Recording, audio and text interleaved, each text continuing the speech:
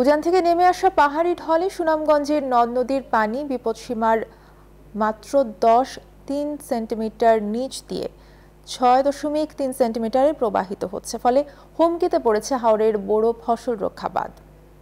করচার হাওড়ে বাঁধে ফাটল ধরে পানি ঢুকছে, হুমকিতে সাত হাজার হেক্টর বোরো ধান। অবস্থা বেগতিক দেখে পানি আটকাতে স্বেচ্ছায় কাজ করছেন দুইশো কৃষক। সুনামগঞ্জ প্রতিনিধি মোহাম্মদ বুরহান উদ্দিনের পাঠানো তথ্যচিত্রে ডেস্ক রিপোর্ট। মঙ্গলবার সকাল থেকে বিশম্ভরপুর উপজেলার করচার হাওড়ে বাঁধের নিচে ফাটল ধরে হাওড়ে পানি ঢুকতে শুরু করেছে। এতে হুমকিতে পড়েছে পঁচিশ হাজার হেক্টর বোরো ধান।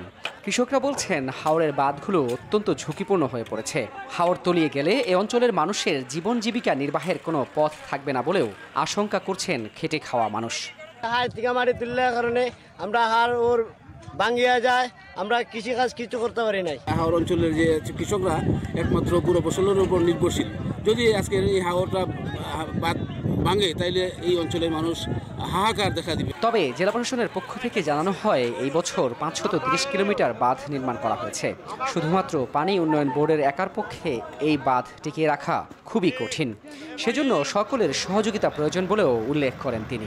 সকলের সহযোগিতা কামনা করে আজকে বিকালে আমার জেলা প্রশাসকের ফেসবুক পেজে একটি বিজ্ঞপ্তি আমি দিয়েছি যার মাধ্যমে মানুষজনকে সচেতন করার জন্য এবং ইসলামিক ফাউন্ডেশনের মাধ্যমে আমি সকল মসজিদেও ইমামগণকে অনুরোধ জানিয়েছি তারা যেন মাইকিং করে মানুষকে সচেতন করে। এরই মধ্যে মাইকিং করে জনসচেতনতা বাড়ানো হয়েছে বলেও জানান তিনি। Desk report, news twenty